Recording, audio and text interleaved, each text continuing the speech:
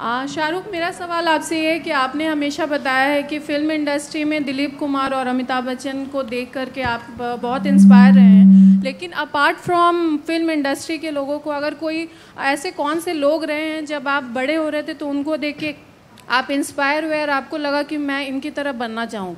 हमेशा रहते हैं उनकी तरह नहीं। Milkha Singh ji Cassius Clay Muhammad Ali Mother Teresa उनकी तरह बन तो मैं कभी नहीं सकता।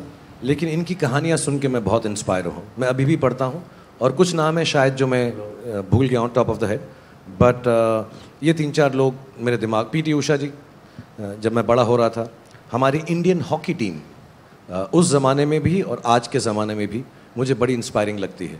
और सिर्फ़ इसलिए नहीं कि मैंने चकदे किया है जेनविनली मुझे वो नेशनल स्पोर्ट के अंदर मैं बहुत फॉलो करता था।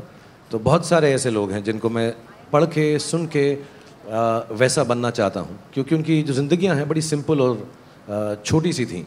काम उनके बड़े हो गए सो इसलिए मैं उनसे बहुत इंस्पायर होता हूँ।